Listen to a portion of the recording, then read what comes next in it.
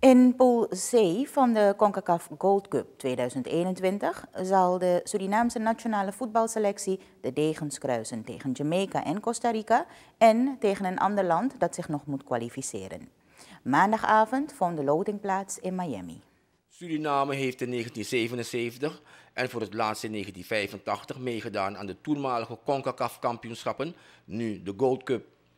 Onze seniorenselectie kwalificeerde zich op 18 november 2019 voor de Gold Cup door gastland Nicaragua met 2-1 te verslaan.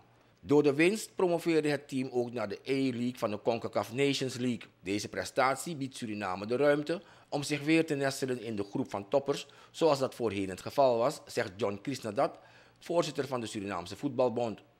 Uh, nou, heel wat in de zin dat wij dus, als je kijkt in eerste instantie dus naar de FIFA-ranking, dat wij dus met stap vooruit gaan, uh, gaan gaan. Dus dat is het pad dat we hier in, uh, in terecht zien,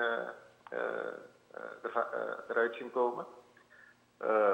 het brengt met zich mee dus dat wij regionaal weer dus die erkenning gaan krijgen, dus die wij in het verleden hebben gehad.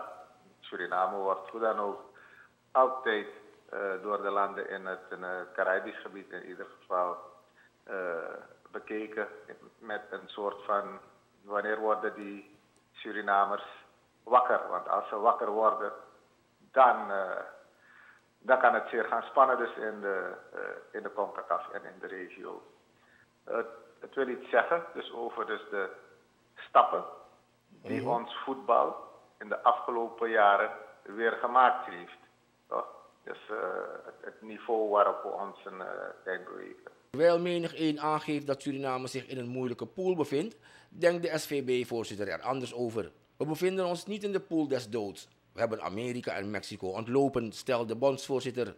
De SVB-topman vindt dat Suriname een goede kans maakt. Laat me zeggen, als je zegt dat wij op de eerste plaats eindigen in onze pool. Wat voor mij een haalbare kaart is met die aanvulling van dus die profvoetballers. Ja. Dan zie ik me wel zeker dus in ieder geval komen in dus die volgende ronde, dus die kwartfinale ronde. En ook daar zie ik me dan erdoor komen. Mm -hmm. Als de overige indelingen min of meer hetzelfde blijven. Dus de nummer 1 en 2 zoals ze dus nu gekozen zijn. Bijvoorbeeld wij zullen moeten spelen tegen de, te, uh, als we eerste plaats eindigen in groep C. Mm -hmm. Dan zullen we moeten spelen tegen het land dat op de tweede plaats in groep B eindigt. En je mag verwachten in principe dat in groep B uh, de USA op nummer 1 zal eindigen. Dat mm -hmm. betekent in die tweede, tweede uh, ronde komen we een land tegen als uh, Canada of Martinique. Ja. We komen Amerika pas tegen tenzij we in groep, groep C, waarin we zitten, dus als tweede land eindigen. Mm -hmm. Dus we kunnen op basis van deze loting, daarom zeg ik dat het vrij, uh, vrij gunstig is, met de krachten die we erbij kunnen halen, vrij ver komen, vrij ver komen in deze Gold Cup. De COVID-19-pandemie legt een domper op het voetbalgebeuren in Suriname, maar ook in het Caribisch gebied. De meeste landen hebben nog geen herstart kunnen maken van hun competitie.